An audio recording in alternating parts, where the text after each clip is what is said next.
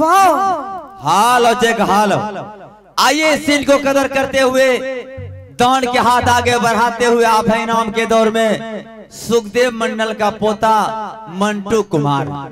सुखदेव मंडल का पोता मंटू कुमार स्थानीय निवासी, इस सीन को कदर करते हुए इक्यावन रुपया से नवाजे हैं हमारे पार्टी और एक सौ एक। एक सौ एक रुपया से नवाजे हैं। हमारे पार्टी हार्दिक अभिनंदन करती है। जय हिंद जय भारत। वाह! कितना सुंदर है। शीत और बसंत। जितना सुंदर शीत और बसंत का नाम है उससे कहीं ज़्यादा सुंदर शीत और बसंत का चेहरा है। अब मैं क्या बताऊँ? जब से मैं इस महल में आई हूँ जब से मैं इस महल में अपना पहला कदम रखी हूँ, यानी जब से मैं अपने पहली नज़र से शीत और बसंत को देखी हूँ, तब से मैं शीत और बसंत से प्यार करने लगी हूँ। मैं शीत और बसंत से प्यार करने लगी हूँ और जल्द से जल्द शीत और बसंत से शादी करना चाहती हूँ। सेकेंड मैरिज नहीं नहीं, आप ही लोग बताइए। अभी मेरी उम्र क्या है? पंद्रह सोलह। पंद्रह सोलह वर्ष। और जिसके साथ मेरी शादी हुई है उसकी उम्र क्या है? सत्तर पचहत्तर। हे भगवान। जब ये मैं सोचती हूँ कहाँ मैं पंद्रह सोलह वर्ष की? और कहाँ वो बुढ़ा सत्तर पचहत्तर वर्ष का? मुझे तो शर्म आती है। कितना अच्छा होता। अगर वो बुढ़ा मुझसे शादी नहीं करके अपने बेटे शीत और बसंत से करा दिया होता। वो कमीना मुझसे शादी कर लिया। इतना बुढ़ा है कि वो डाय करा के घूमता है। अब मैं करूँ तो करूँ क्या? बिल्कुल आपके बराबर है। अब मैं करूँ तो करूँ क्या?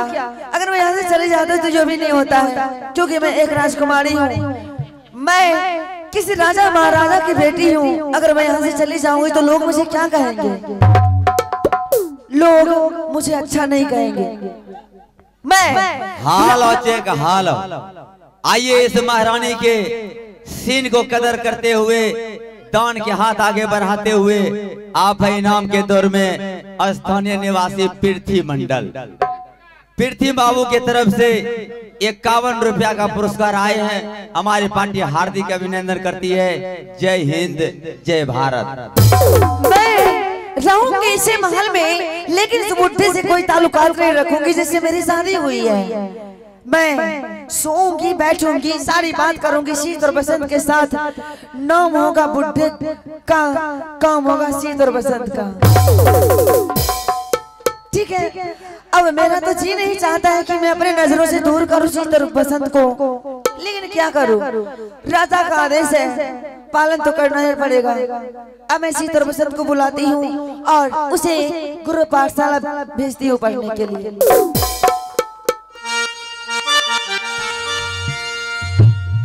जल्दी सा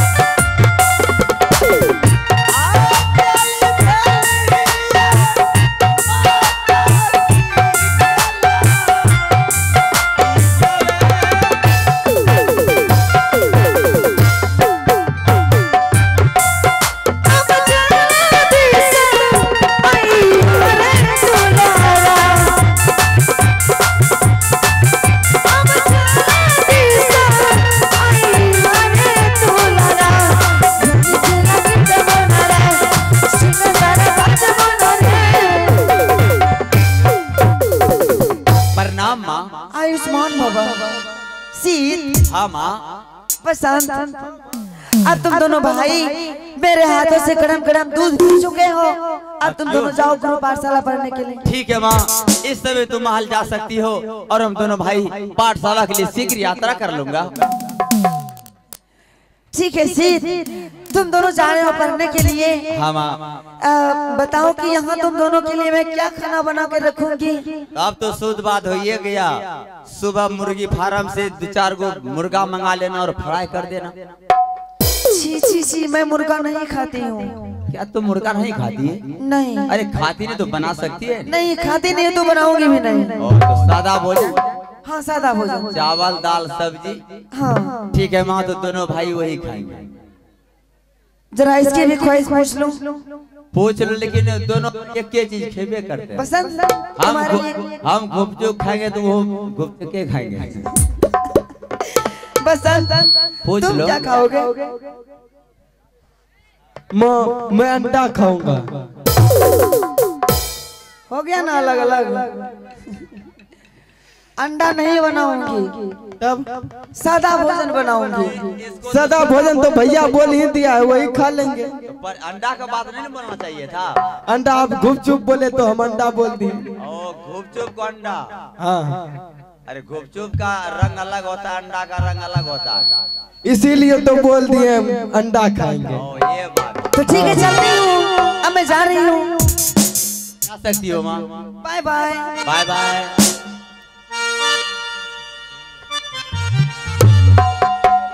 भाई बसंत। हाँ भैया। हमारे पिताजी चौदह कोस की जागीर में इतना सुंदर माँ लाकर खड़ा कर दिया ये लगता है धीरे धीरे मरी हुई माँ की याद अपने दिल से बाहर होता जा रहा।